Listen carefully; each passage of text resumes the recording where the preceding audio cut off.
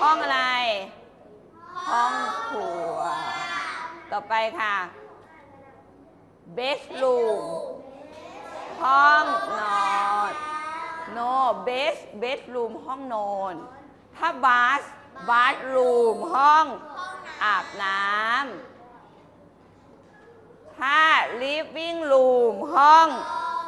นั่งเล่น ห้องอาบน้ำนะ แต่ถ้าเราไปตามปั๊มอะเขาจะเขียนคำว่า toilet toilet ขึ้นต้นด้วยตัว T toilet toilet ก็คือห้องห้องห้องน้ำห้องสุขาห้องอะไรเงี้ยเรียก toilet นะคะตามหรือว่ามันก็จะคล้ายๆ ห้องอาบน้ำนี่แหละ แต่ว่าเขาเรียกว่าห้องสุขาใช่ไหมคะเขาจะใช้คำว่า toilet อะออกเสียงตามครูค่ะ toilet toilet อะลองไปดูถ้าใครเคยใครไปกับคุณพ่อคุณแม่แล้วไปตามปั๊มอะ แล้วลองดูซิเขาเขียนคำว่า toilet น่ะมีตัวอะไรมั่ง ลองไปหามาให้คุณครูหน่อยซิแล้วถามว่า เอ๊จะใช่ไหม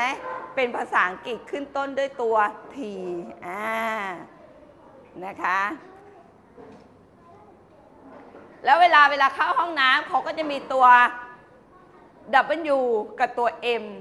ถ้าเป็นผู้หญิงจะเข้าตัว M หรือตัว W เออ เวลาห้องน้ำที่เราไปตามห้องน้ำตามห้างตามอะไรเงี้ยเขาจะมีตัวเป็นตัว M กับตัว W ตัว M หมายถึงอะไรแมนผู้ชาย ตัว W คืออะไรคะ woman ผู้หญิง เพราะฉะนั้นถ้าไม่มีเขียนเป็นภาษาไทยเราต้องดูสัญลักษณ์ให้ถูกว่าห้องผู้หญิงหรือผู้ชาย เพราะบางที่บางที่เขาไม่มีภาพเขาจะมีเป็นภาษาอังกฤษอย่างเดียว เราก็ต้องดูว่าเราเป็นผู้หญิงต้องไปตัวดับเบิล U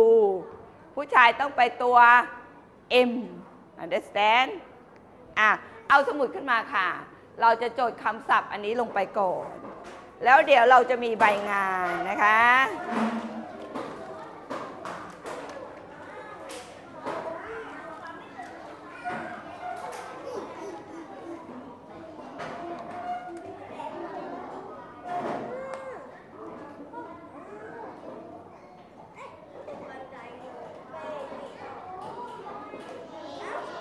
อะ จ ดลงไปก่อนค่ะ ไวเลย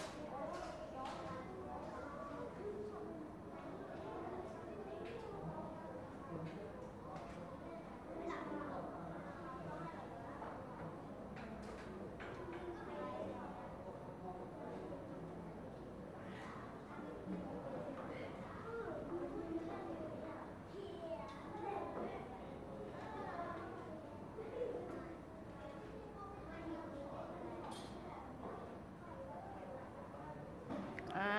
ไว้ นะ เปิดเพลงเบาๆให้ฟังดีฝ่า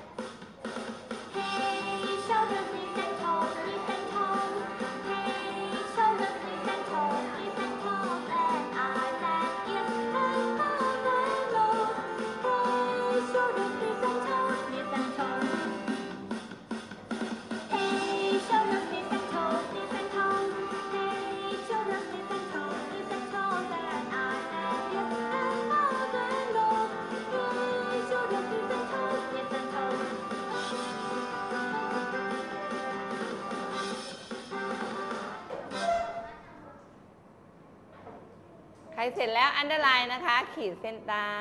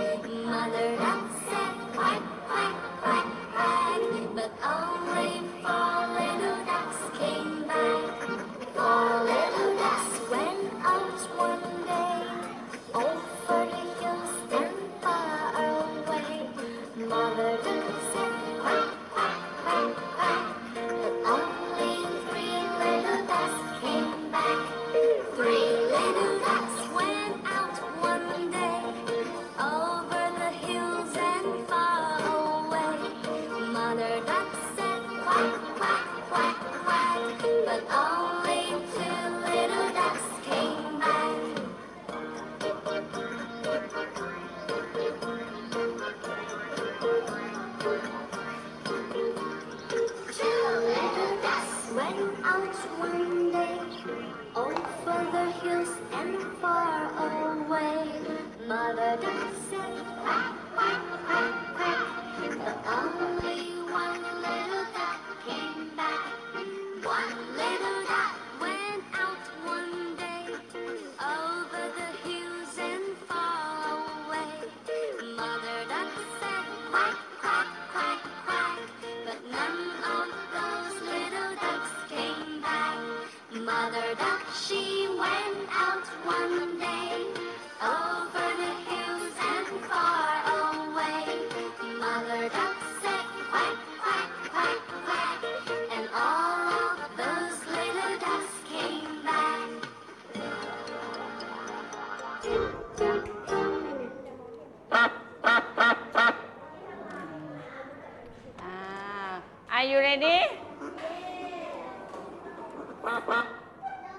เอาละเดี๋ยวคุณครูมีใบงานแถมด้วยวันนี้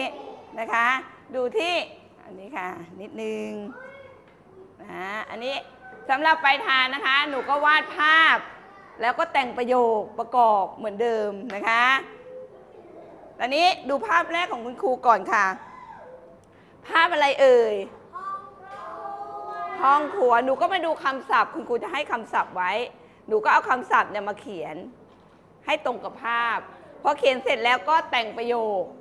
แต่งประโยคอะไรก็ได้ที่เรียนมาแล้วอะ this is ก็ได้ I love ก็ได้นะคะที่เรียนมาแล้วแต่งประโยคทุกภาพเลย เสร็จแล้วหนูก็ทำไมคะระบายสี แต่ถ้าเป็นไปทางต่างจังหวัด หนูก็วาดภาพหนึ่งนะคะ หนูวาดภาพแล้วหนูก็แต่งประโยคนะคะ ทั้งหมดก็จะได้สี่ภาพสี่ประโยคนะคะ เอาคำศัพท์ที่ได้เมื่อกี้เนี่ยค่ะสี่สี่คำมี kitchen